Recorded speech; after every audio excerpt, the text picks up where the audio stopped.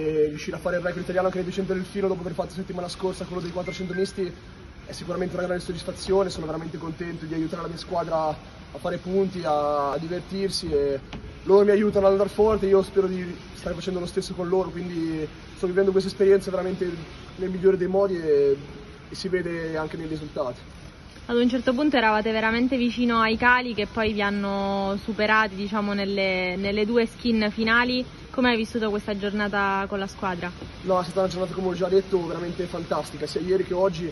Io veramente adoro questo, questa squadra, eh, ci divertiamo un sacco, andiamo forte, quindi è perfetto. E oggi sì, siamo stati veramente vicini a battere i Cali Condors, che sarebbe stato veramente un risultato incredibile. E dopo la mia gara ho visto che eravamo avanti di qualche punto, speriamo che i ragazzi delle skin riescano a fare bene, sono stati bravi, però purtroppo i Cari Condors nelle skin sono veramente troppo forti e quindi sono stati più bravi loro, però insomma anche noi direi che abbiamo fatto un grande risultato e possiamo solo che essere soddisfatti di oggi, di ieri e di tutti i nostri tre match fino adesso. Senti, questi record chi li vedi? Chi a tua mamma magari che stava sempre vicino a Valentino Rossi con tuo idolo, a tuo nonno che hai sentito un attimo fa? Sì, no, oggi sono contento di aver fatto un record italiano che c'era anche mia nonna a vedermi, quindi ci tenevo a fare una bella gara, a farlo divertire, visto che eh, è venuto apposta da, da casa e non so, gli dico a tutti quelli che mi, che mi, seguono, che mi tifano, che mi supportano, chi mi ha aiutato in questo percorso e chi tutti i giorni mi aiuta a dare sempre il 100% in acqua e, e, a divertirmi. Valentino è un tuo idolo, vero?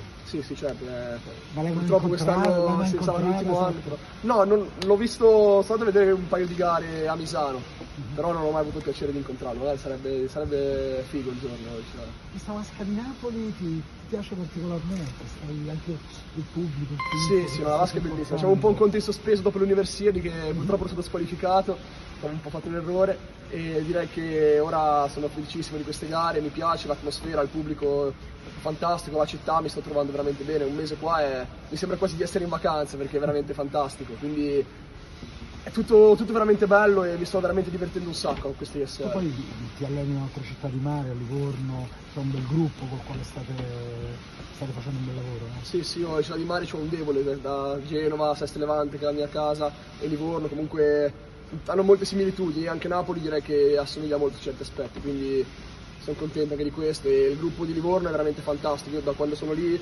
sono veramente contento della scelta che ho fatto, non perché a casa mi trovassi male, ma perché mi serviva qualche stimolo in più che me lo danno tutti i giorni i miei compagni, spingendomi a dare il massimo, come fanno i miei compagni di Toronto Titans in questi giorni con cui mi sto allenando. E io penso che il nuoto è uno sport individuale, ma la squadra può fare la differenza certe volte e si vede in queste occasioni. Sei diventato un po' l'idolo di Toronto adesso. Eh sì, il fatto che siamo in Italia e essendo italiano sono mi sto, sto, veramente divertendo.